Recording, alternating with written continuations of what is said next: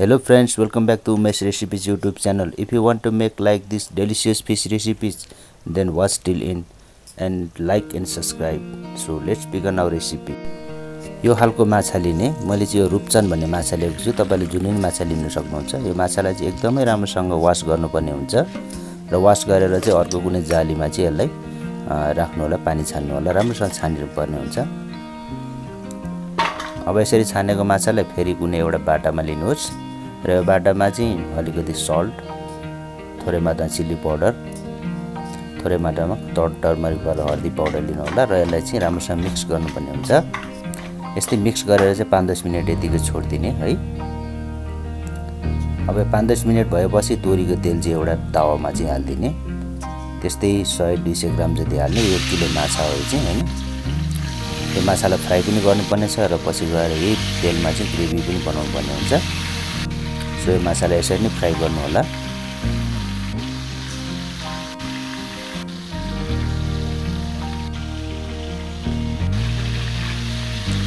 यसरी यो माछालाई फ्राई गरेर अलिकति तल टाँसिन्छ कि भन्ने हेर्नुपर्ने पनि हुन्छ र यो टाँसिन नदिनुको लागि चाहिँ कुनै पनि यो कम्तीहरूमा या कुनै प्यानमा चाहिँ राम्रोसँग तेललाई चाहिँ सिजनिङ गर्नुपर्ने हुन्छ कि सिजनिङ एकदम राम्रोसँग भयो भने चाहिँ टाँसिँदैन र राम्रोसँग फ्राई पनि हुन्छ यसरी नै माछालाई सबै अगाडि पछाडि राखेर चाहिँ फ्राई गर्नुपर्ने हुन्छ है बेला बेलामा।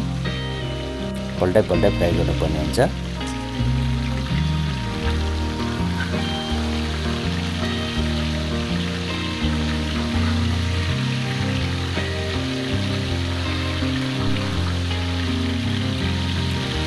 अब यो माछा चाहिँ लगभगै फ्राई भइसकेको छ। एक दुईवटा चाहिँ फ्राई नै बढी नै भइसक्यो जस्तो कि यो माछाको टाउको चाहिँ तोरी निकालिदिउँ।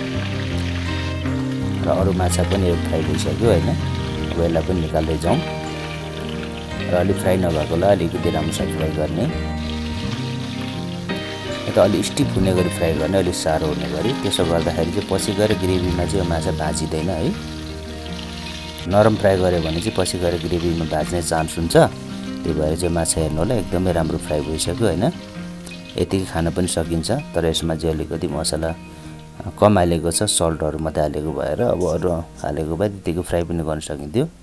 र यो सेम तेलमा चाहिँ अलिकति धनियाँ होल धनियाँ चाहिँ हाल्ने एकछिन त्यसलाई रातो भएपछि चाहिँ मसिनो चप गरेको प्याजलाई चाहिँ फ्राई गर्ने सँगै। यसरी यो गोल्डन ब्राउन भइसकेपछि चाहिँ यसमा चाहिँ चिल्ली पाउडर हाल्ने। चिल्ली पाउडर टेस्टको हिसाबले हाल्नु होला पिरो कतिको चाहिन्छ। यसरी हाल्दाखेरि चाहिँ पछि चाहिँ एकदमै राम्रो कलर आउँछ। साथै त्यसपछि जिन्जर गार्लिक पेस्ट पनि एक टेबल स्पुनभन्दा अलिकति बढी नै हालेको छु मैले एक किलो माछा हो नि त। त्यो भएर चाहिँ र यसलाई चाहिँ यसलाई पनि एकछिन राम्रोसँग फ्राई गर्ने। त्यसपछि यसमा हाफ टेबल स्पुन जति हर्दी पाउडर हाफ टेबल स्पुन जति ब्ल्याक पेपर पाउडर एक टेबल स्पुन जति चाहिँ धनियाँ पाउडर हाफ टेबल स्पुन जिरा पाउडर हालेर यसलाई पनि एकैछिन मात्रै भुट्ने जस्ट एक मिनट मात्रै। त्यसपछि चाहिँ यसमा टमाटो पेस्ट गरेको थिएँ मैले चारवटा जति र त्यो टमाटरलाई चाहिँ पेस्ट गरेर हाल्ने साथै सल्टलाई पनि नुनलाई पनि हालिहाल्ने र यसलाई राम्रोसँग सबैले मिलाएर चलाउने।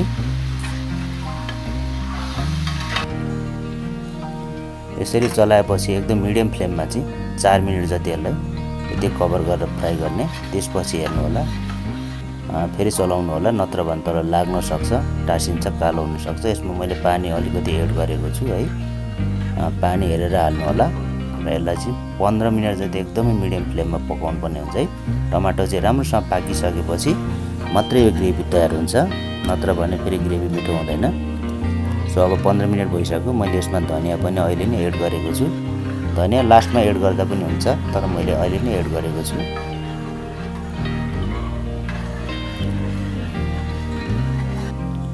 यसरी सबै चलाएपछि पानी चाहिँ चाहिने गरी हाल्ने ग्रेभी कतिको पातलो बाक्लो चाहिन्छ त्यो हिसाबले हाल्नु होला तातो पानी मात्रै युज गर्नु होला है।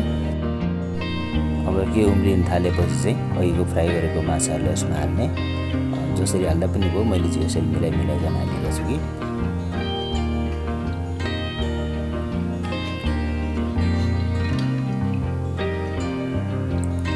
यसरी यो सबै माछाहरूलाई हालेपछि चाहिँ कमसेकम आठ मिनटको लागि एकदमै कम हिटमा चाहिँ भन्नाले आगो चाहिँ अलिक कम राख्नु होला आठ मिनटसम्म चाहिँ यसलाई पकाउने। र आठ मिनटपछि यो माछा पुरै पाकिसकेको छ। यसको रस रस बाहिर निक्लिएको छ होइन। यसरी रस बाहिर निक्लिएपछि माछाको टेस्ट ग्रेभी पनि राम्रो आउँछ। र हेर्न सक्नुहुन्छ माछाको एकदमै राम्रोसँग पाकिसक्यो माछा। र माछा सर्भ गर्नेवाला भइसक्यो। सर्भ गर्ने तरिका पनि यहाँलाई म देखाउँछु। सर्भ यसरी गर्दा अझै राम्रो देखिन्छ खाउँ खाउँ जस्तो लाग्ने देखिन्छ। हेर्नु होला। कति इजीसँगले घरै बनाउन सकिन्छ। यो माछा चाहिँ एकदम सिम्पल रेसिपीमा थियो। यो भने अब अरू रेसिपीमा पनि छ। यस्तै रेसिपी हेर्नको लागि च्यानललाई सब्सक्राइब गर्नुहोस्। नयाँ हुनुहुन्छ भने